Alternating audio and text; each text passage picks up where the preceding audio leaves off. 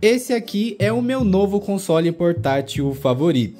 Boa rapaziada, pra quem não me conhece, eu sou o Lopes e esse aqui é o Trimu Smart Pro, que é um console portátil que em promoção, mesmo com imposto, fica aqui abaixo dos 300 reais, que é um valor bem interessante visto a performance que surpreende bastante aqui, tá? Pra quem já tá bastante tempo nesse mundo de consoles portáteis da China, provavelmente já conhece esse modelinho aqui, que não se trata de um lançamento, mas recentemente teve bastante novidade para ele, inclusive eles fizeram um sistema modificado perfeito para deixar o que já era completo mais completo ainda e obviamente eu vou mostrar aqui tudo para vocês. Inclusive eu tô com uma bem interessante aqui que basicamente são portes de jogos de PC e como vocês podem ver tá rodando aqui perfeitamente bem, mas isso aqui é só a ponta do iceberg, tá? Mas antes vou deixar vocês aí com o unboxing e as primeiras impressões do Trimu Smart Pro com o Lopes do passado. E sem muita enrolação, já vamos aqui pro unboxing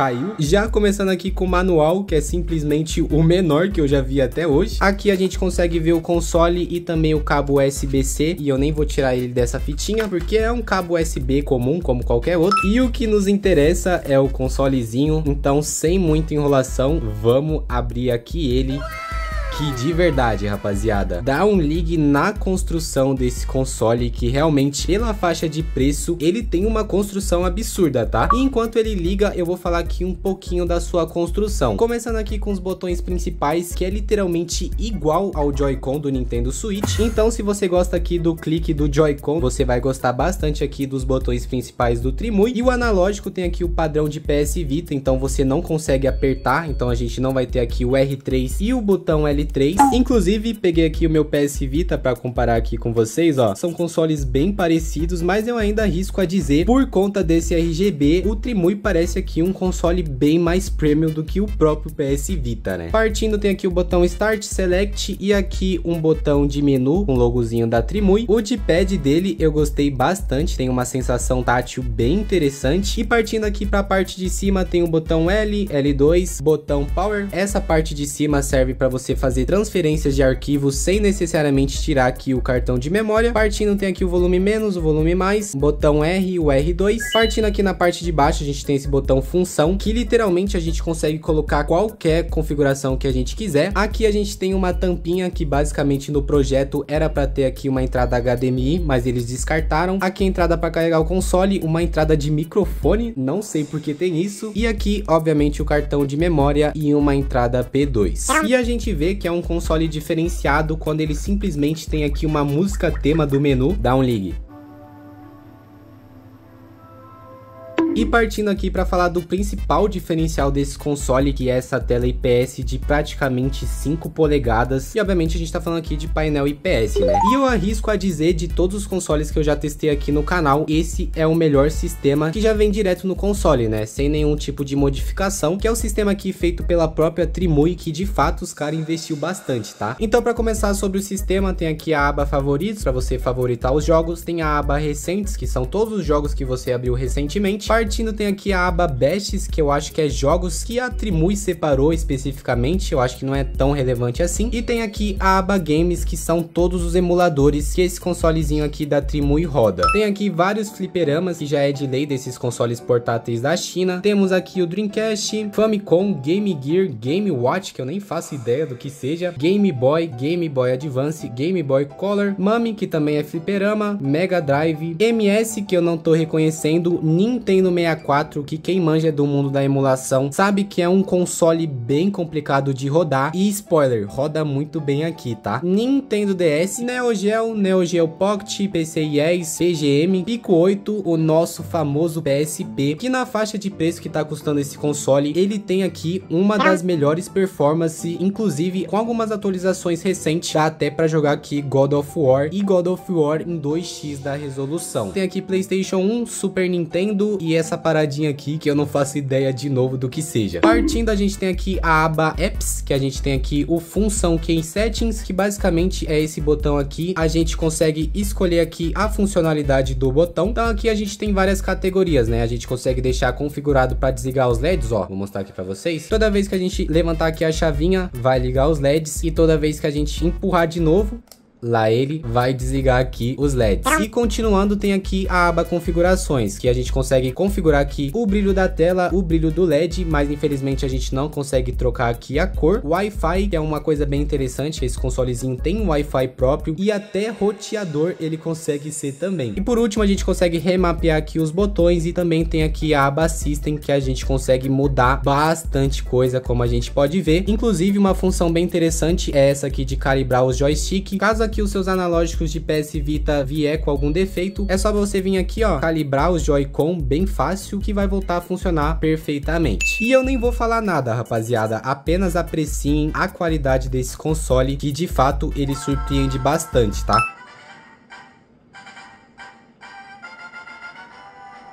A própria Trimui já deixa aqui configurado, como a gente pode ver, ó, as bordinhas personalizáveis que eu achei bem da hora, mano, bem interessante, porque obviamente a gente tá falando aqui de uma tela 16 por 9, né? Então esses jogos retrô, todos têm borda, né? Então é bem interessante ter um, um desenho, né? E não só uma borda totalmente preta. Mas é claro, rapaziada, que vindo aqui no menu e Advanced Menu, você consegue configurar tudo aqui do console. O RetroArch é bem completo, inclusive ele roda até aqui o Retro Achievements, que inclusive ele sincroniza com a nuvem com a sua conta do próprio RetroArch, né? Que inclusive a própria Trimui colocou aqui um filtro que simula a própria tela do Game Boy Advance na época, mas obviamente é questão de gosto, né, rapaziada? Tem gente que gosta, mas tem gente que não gosta e como eu disse aqui no menu, você consegue trocar literalmente tudo. E uma coisa que não pode faltar aqui, principalmente no emulador de Game Boy Advance, é aqui o Fast Forward, que apertando aqui o botão L2 você ativa ele na forma infinita, né? Então você só pressiona uma vez e não precisa apertar mais nada. E segurando aqui o botão R2, você ativa o Fast Forward temporariamente e soltando você desativa ele. Mas infelizmente o botão R2 está configurado como botão R também, por isso tá bugando, mas aqui nas configurações, obviamente, você consegue arrumar isso bem rápido. E para evoluir aqui os nossos testes, vamos testar aqui o PlayStation 1, mas antes, pausa aqui para água porque tá calor em SP, tá?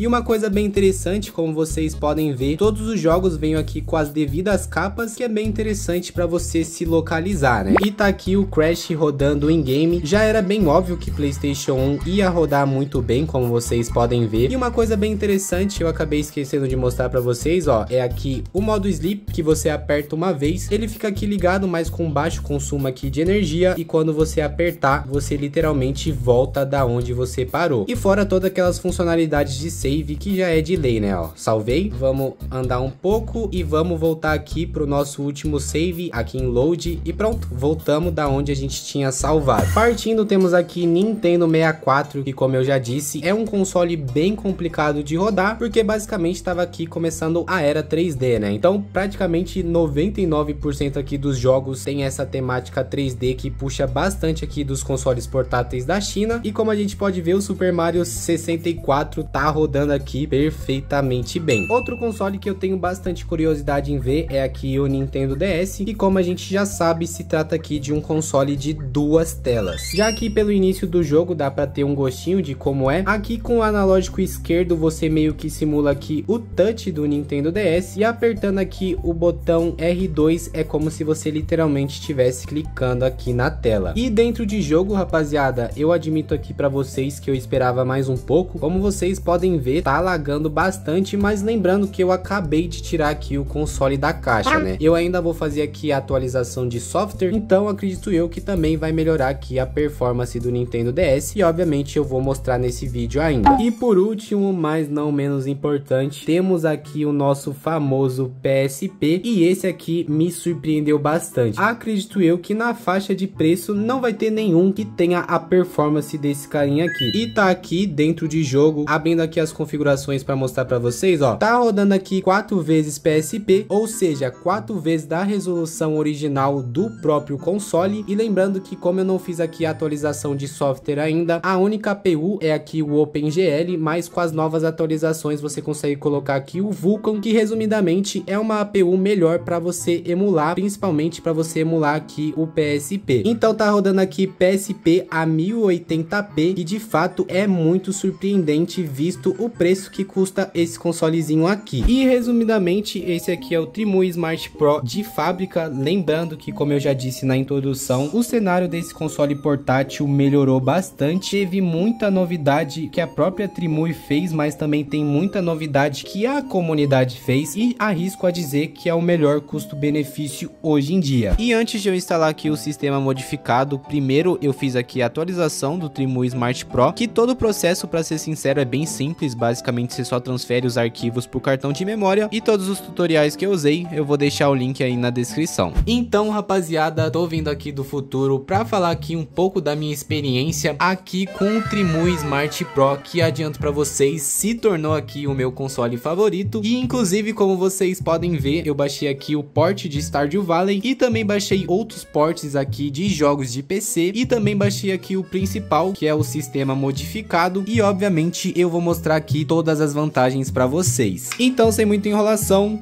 Vamos lá. Começando aqui, o primeiro port que eu quero mostrar para vocês é o port de Celeste. Inclusive, é um jogo que eu tô até jogando no meu Nintendo Switch, que para ser mais específico, eu tô jogando aqui no meu Switch Lite, ó. E é muito doido pensar que esse console aqui custa o triplo do Trimui Smart Pro e basicamente eles rodam o mesmo jogo, né? E falando de performance, tá perfeito, ó. Vou calar minha boca para vocês analisar. Gameplay criminoso.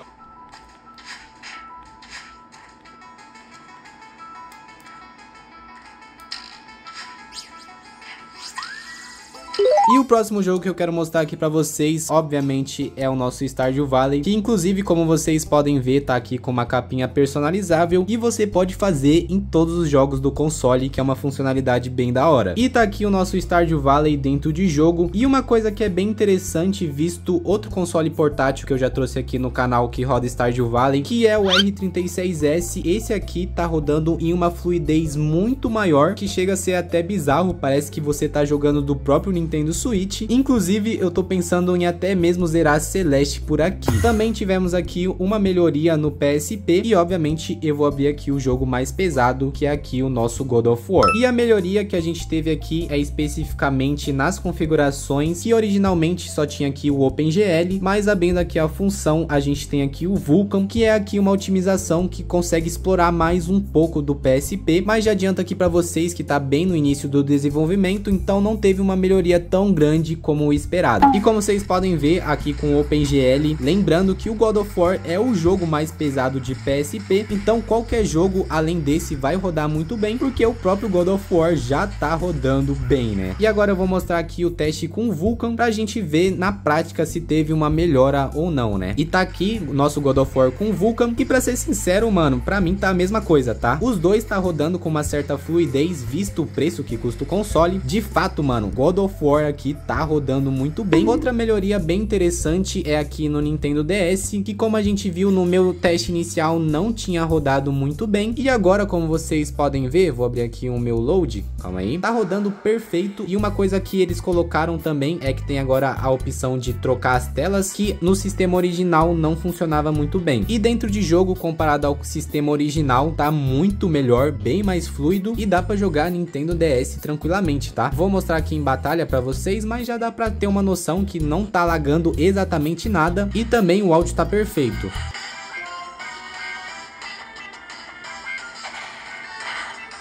Também tivemos aqui algumas mudanças na configuração do console portátil, começando aqui com a implementação do Bluetooth. Agora você consegue tanto conectar um controle como também um fone Bluetooth para você conseguir jogar com seu fone de ouvido sem necessariamente usar aqui a entrada P2. Também adicionaram aqui um sistema de gravação de tela, também tem esse aplicativo que é bem interessante, que é o Scrapper, que basicamente ele dá uma analisada em todos os jogos que você tem instalado e coloca a capinha automaticamente, que fica bem da hora pro design design do console, né? Já começando aqui com a aba temas, eu curti muito, mano, esse tema em específico, que é o tema aqui do PSP, que basicamente ele tenta imitar aqui o sistema do PSP e inclusive eles colocaram até a musiquinha, ó.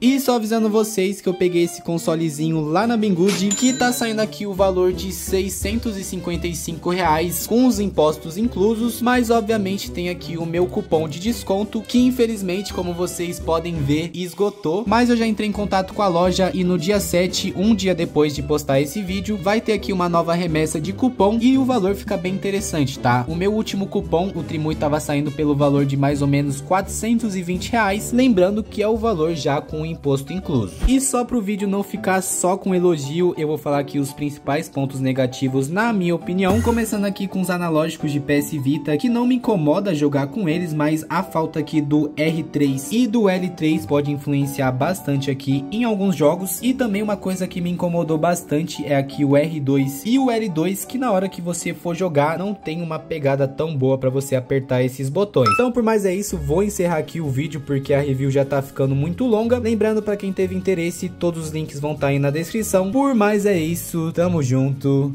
e é nóis!